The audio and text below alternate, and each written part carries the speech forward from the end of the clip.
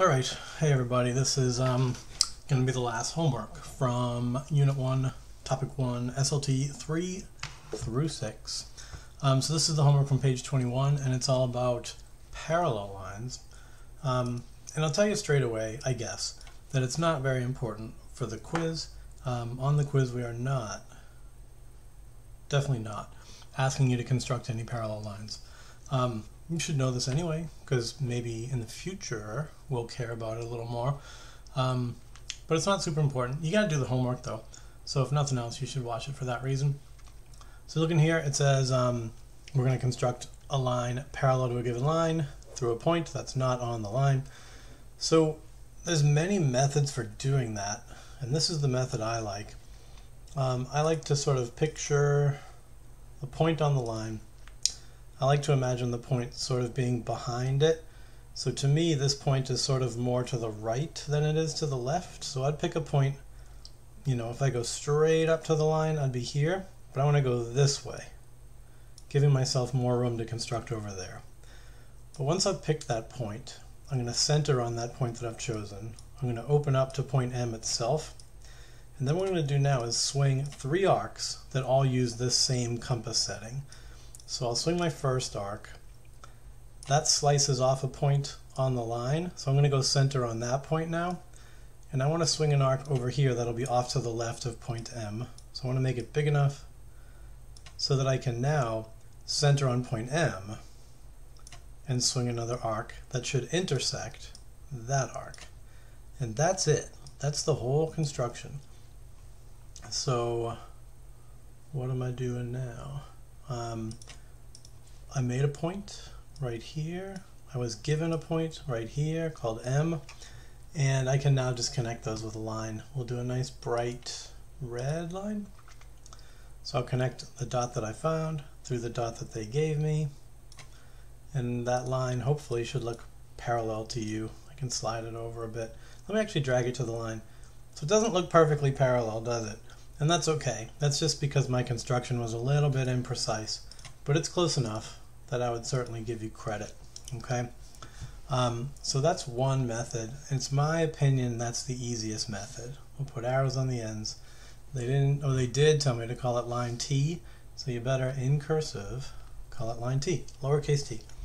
Um, but that's it. Um, I'm going to go to the next question, and maybe we'll try a different method this time. Um, so this one just says do it again, you know, make another one. Um, and so one way to make parallel lines, which might seem a little weird, is you make two perpendicular lines. So I'm going to center on point P, and I'm going to use that construction from the last homework assignment where we open our compass just a little bit beyond the line and swing an arc that hits the line twice. And then I can center on those points of intersection and I'm essentially doing my perpendicular bisector again. I'm already three quarters of the way so this is fine. I'll swing an arc down. I'll go to the other point of intersection and I'll swing an arc down. And those two guys will intersect. And I'll draw myself a line. Now I'm trying to ultimately get a line that's parallel, but the first thing I'll do is make this line here, which is perpendicular. And I'll slide this thing up a bit. You have to slide it up. You need room on both sides of P.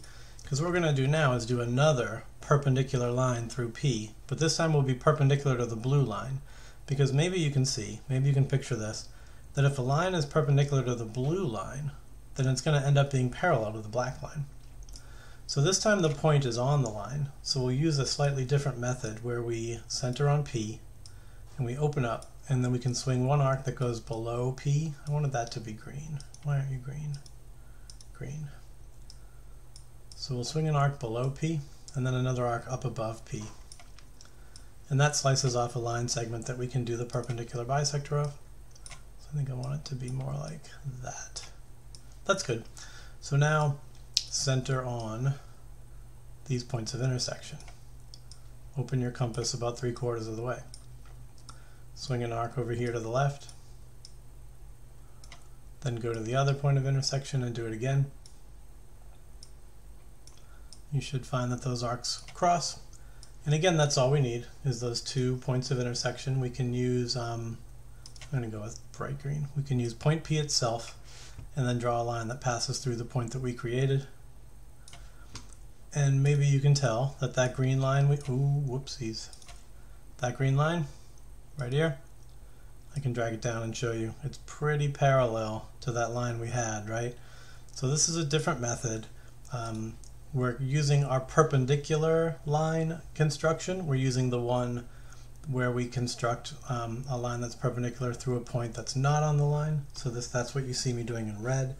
Then we do another perpendicular. This time we're perpendicular to the blue through a point that is on the line, and then we end up with the green line, which is parallel to the black line. And this line's supposed to be called K. Oh no, they gave me K. So maybe this line doesn't have a name. Maybe the last one wasn't supposed to be called T either. Probably wasn't, right? No, this one was T. So the line we constructed has no name. Whatever. Um, but there it is. There's your line. I don't like that arrow. I'm going to redo that arrow. But that's a different construction we can use. I still think the first construction for sure was way easier. You can tell it was way easier. We just picked a point, swung an arc, swung an arc, swung an arc. We never even changed our compass setting, right? Much easier. But this method's kind of cool too. Is there a 3? Yep. It says construct a line parallel to line S that goes through point R. So I'll show you a third method. And for this one, you still kind of pick a point that's sort of behind point R. I would pick a point probably right here. But really what you're after is a line. You're going to draw a line that sort of passes through point R at an angle to the other line. And then the plan for this construction is we just created an angle. By drawing that line, we created this angle here. And we're going to duplicate that angle. So if you guys want practice with that construction for duplicating an angle, this is a good opportunity. So to duplicate an angle, remember, we centered on the vertex of the angle that we're duplicating. And so in red, I'll swing an arc. Then once we swing that arc, we want to transfer that arc up to point R, like so. Then we wanted to set our distance to the, set our compass to the distance between these two points of intersection. Now I got lucky. My compass wouldn't normally be just the right size. Normally you have to readjust. So I'm readjusting to make sure I have those that, that distance perfectly. Then I slide up, not to point R, but to the point of intersection right here. And I swing an arc. And that's going to allow me to make a copy of this angle. So now in bright blue, I'll draw a line from point R out through that point of intersection that I found. And these lines should be parallel. This construction tends to be not super precise, but that's pretty good. Mine looks pretty much perfect. Hopefully yours looks perfect too. Um, but there you go. That blue line is parallel to the black line. That's three different methods for constructing parallel lines. Again, I absolutely think that the first method is the best. Um, but here's three different methods. Anything else? That's it. That's the end of that homework. Um, so practice, practice, practice all of your constructions. Remember, you're going to be expected to um, copy an angle, copy a line segment, do a perpendicular bisector, do an angle bisector, and you're going to be expected to do, well, not per, not parallel lines. I'm telling you, you don't have to.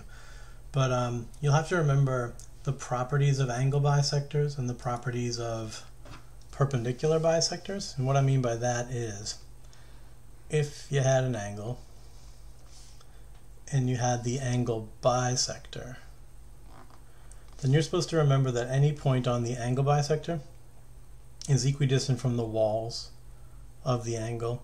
So these two distances are the same, right? On the other hand, if you had a line segment and you had the perpendicular bisector of that line segment. Then you would have to remember that any point on the perpendicular bisector is equidistant from the endpoints of the segment. So that basically means if this distance here is 8 inches, then this distance is 8 inches. And even if I had a point down here, then you could still measure these distances and they would be the same too. Now it wouldn't be 8 inches anymore, but the distance from this point to the red might be like six inches. And from this point to the red would be six inches. So any point you choose is equidistant from the ends, and on an angle bisector, any point you choose is equidistant from the sides of the angle. But hopefully that helps. Um, I am going to try to find like a decent review sheet that I can post for you guys to try. Um, and that'll be optional. Um, I'll post it. You can print out a blank copy of it and do it. Um, and then I'll try to make a video that'll walk you through that too. Okay. Um, so anyway, thanks for watching. Let me know if you thought it was helpful. See ya.